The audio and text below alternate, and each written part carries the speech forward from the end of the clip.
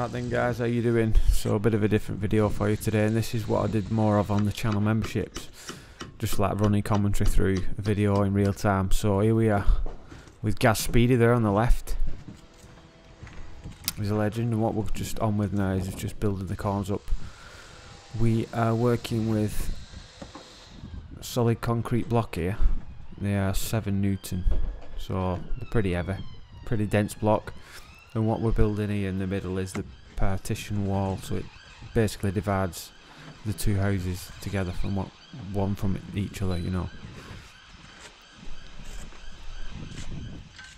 So as you can see we've got all our blocks loaded up there and a mortarboard set up. The actual cavity on these partition walls is 100 mil.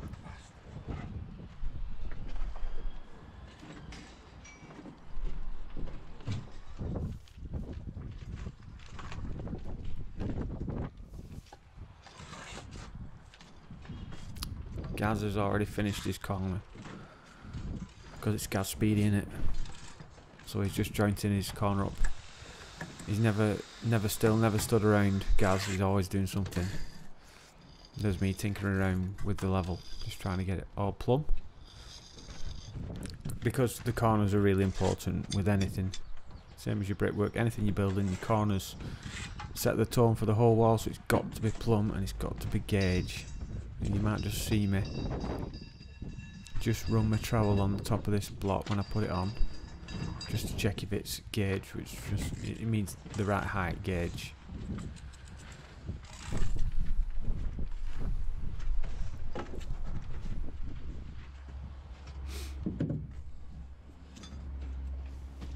So because the other other block wall on the other side is to the right height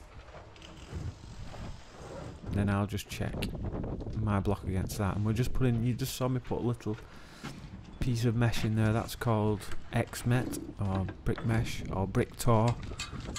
It's got a few different names but basically that's just to tie it into the thermalite block. There's a lot of complex things I could tell you but it's very hard to describe it but while I'm just speaking. So yeah that just basically ties the corner together because they're two different materials.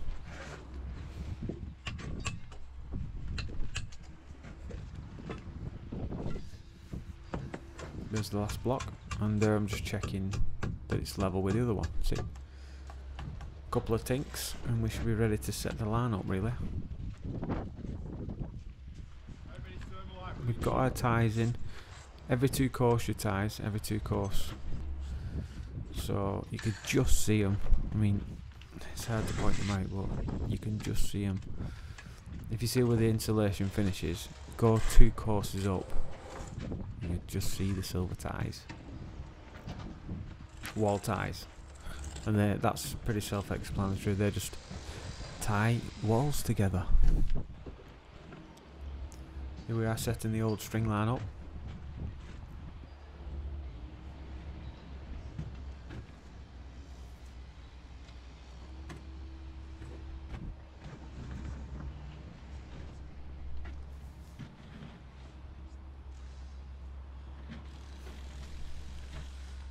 And look at those blue skies. We had some. This was actually last week, I think. So.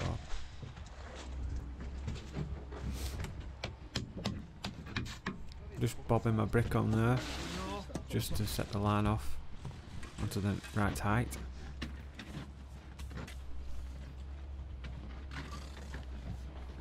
You don't have to do that but sometimes when you put your pin in you can only get it in in a certain way. So that's why I did that. As you can see on Gaz's side he's put in okay and it's worked okay.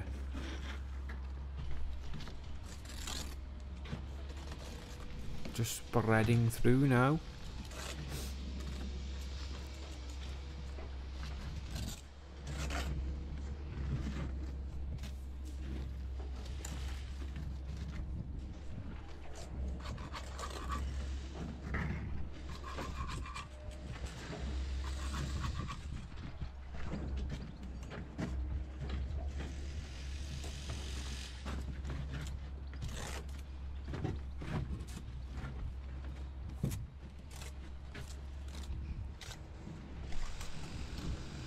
There's Tomahawk, the Beast, aka Collision.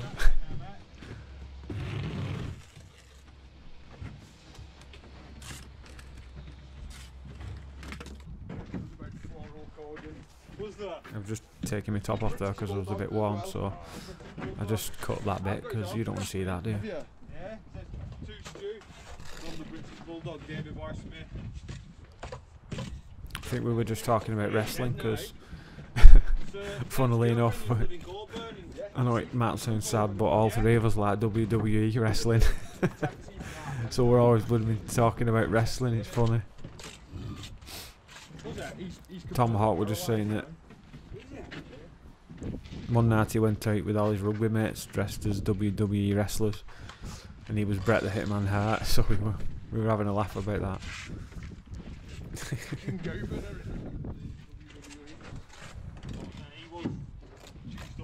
Yeah, not so bad. On that picture I've got of him, where he's signed, he walks in the state of him.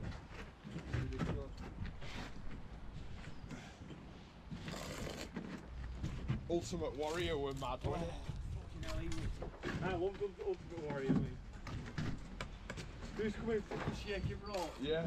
No, I was just saying. I loved Ultimate Warrior. How he just shit. Used to shake the ropes. Sadly died a few years ago. It was me with the Diet Coke moment.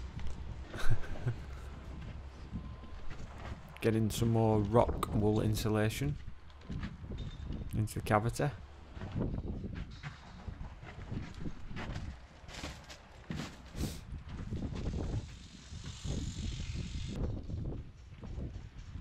And it's time to put the line up. Line up.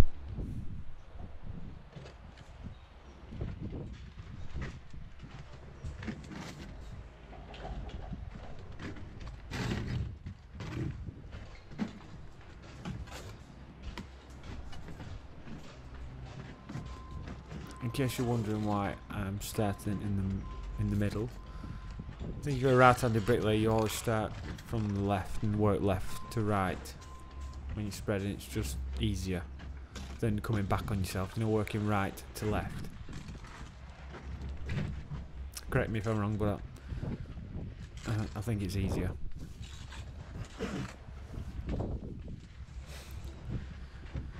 So just put a nice bed of mortar on.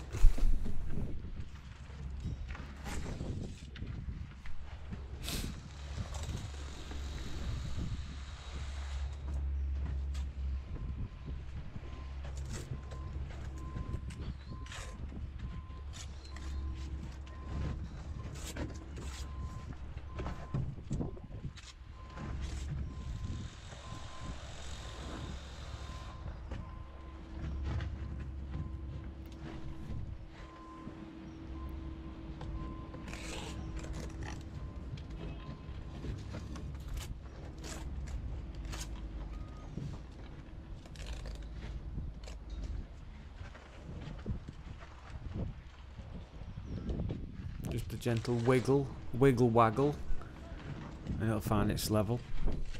Because they're quite heavy, well they're, they're quite heavy these blocks to be fair, so a little bit of a wiggle and they just level down to the line. Sometimes you have to knock them, as you, you'll probably see in a bit.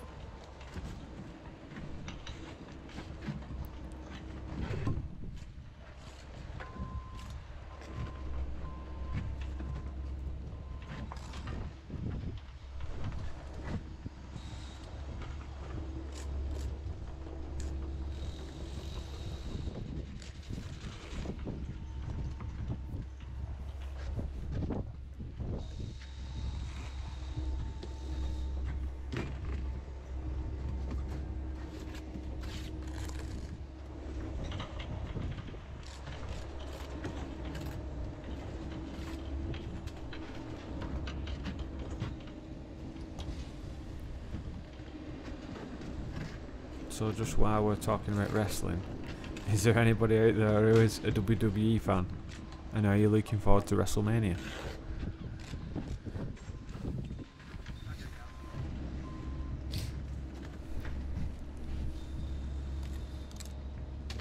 I think it's every lad's guilty pleasure to be fair.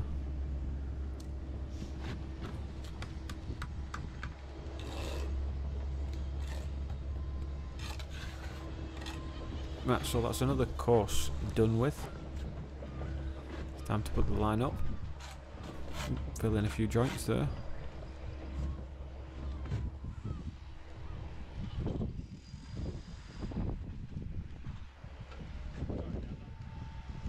Just making, Gaz is making the line a bit tighter there.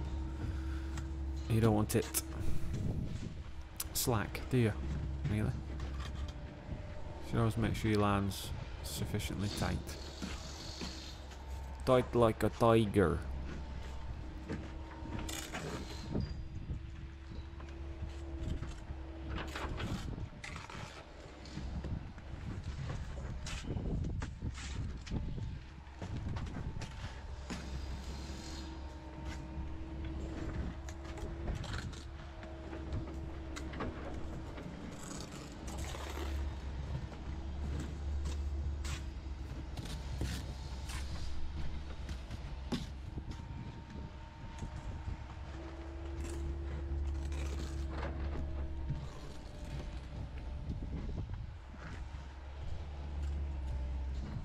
Should just quickly add as well, guys, that when you're building a wall with this material, the concrete solid block, 7 newtons, you should only go up about, I'd suggest 6 courses really, because anything more than that, you're risking it falling over, basically.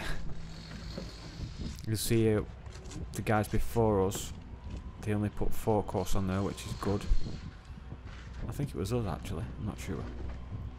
Anyway, they only put four course on to be safe, and we're putting four on top of that, you see. If you put all eight on, it's really risky. It can be done, but it's so risky, and it can you're at risk of it blowing down. And there's already been a somebody a, a blowdown on this job, and that somebody asking in the comments, "What's a blowdown?" It's basically when a wall blows blows over. So you can't predict if it's going to be windy through the night and it, it needs time to dry.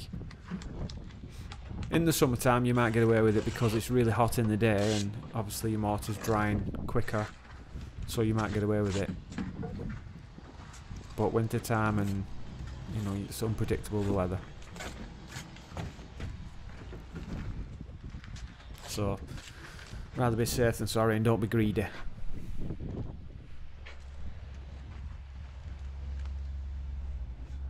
I think there's another video on the internet, it's gone quite a viral, where a guy just gently pushes his level against the wall and you see it fall over from like an overhead view. Do you know the one I'm talking about?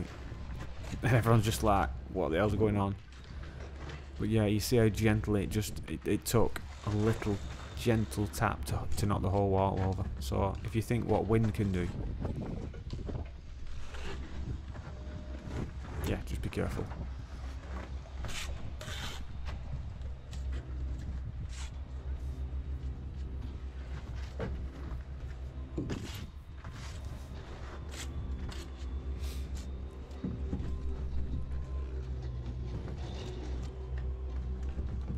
Gaz is using a Marshalltown trowel as well.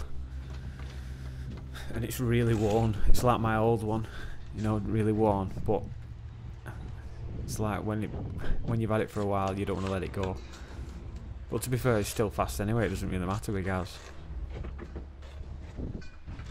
He's fast and good. He's a, he's a good bricky. Really good to work with. Good lad. Never stops.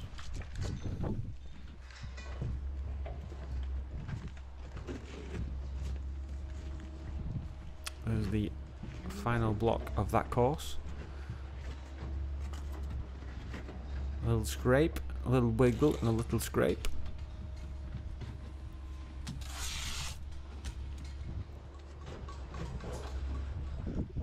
And we're onto the top now. Gaz is going to put the line over and then into the back of the block.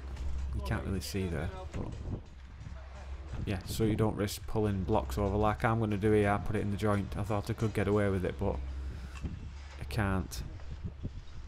You see, I'll put it in the joint, and, and then I decided to just go over the back of the block and put it in the back.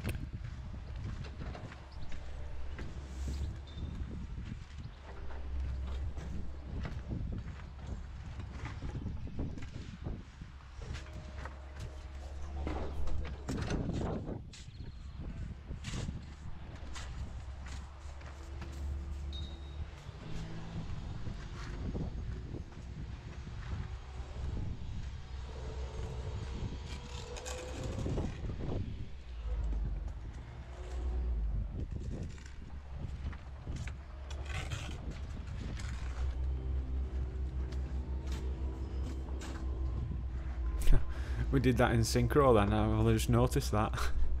Synchronized spreading. Class. Oh, he's ahead of me there. Oh, quick scoop.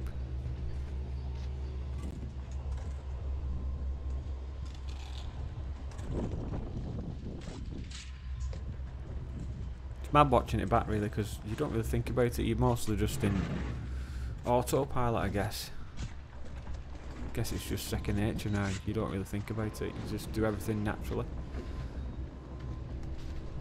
It's like driving in it when you first start driving. Just everything becomes natural and you do it unconsciously, don't you? The handbrake and the gear change and the indicators. You don't even think about it. It's just second nature. You do it that many times. But I can understand that to somebody who's never bricklayed before or hasn't seen it before, it might look difficult. It is, but I mean, plenty of practice, same with anything. Practice at anything, and you can be good at it. Not saying we're good, by the way.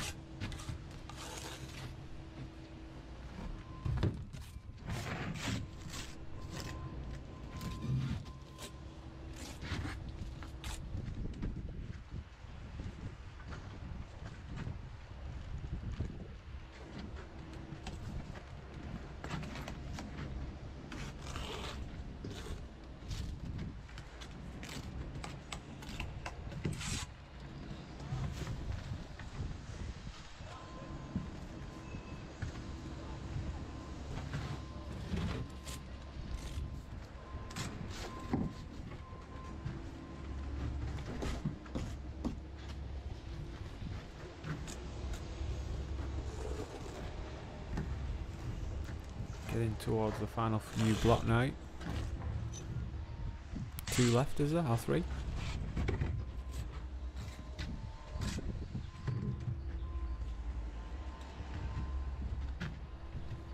Yeah, one last one to go.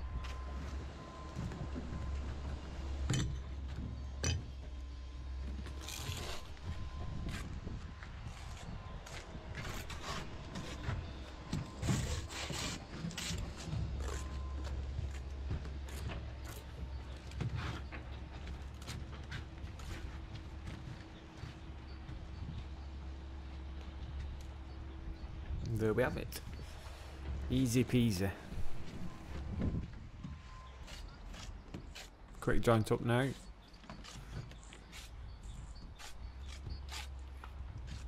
Just do all the perps first. Don't want to sound patronising, but perp is short for perpendicular. and then you have the bed joints, which are the horizontal joints. Because they are the bed of the block or the brick. Well, there you have it. Thanks very much for watching, guys. I really appreciate it. Um, a few more videos to come like this. And yeah, thanks again for watching if you made it to the end. Let me know if you enjoyed it. If you like content like this, you know I like to switch it up and keep evolving the channel and evolving the videos. Really appreciate all the support and that with the academy and just endless nice comments. And yeah, we're trying to kick it off the ground. It's going to be a massive task to do it. But yeah, lots of meetings with people and there's a lot of help out there. So that's that's good. Anyways, I'll see you in the next one, guys. Cheers.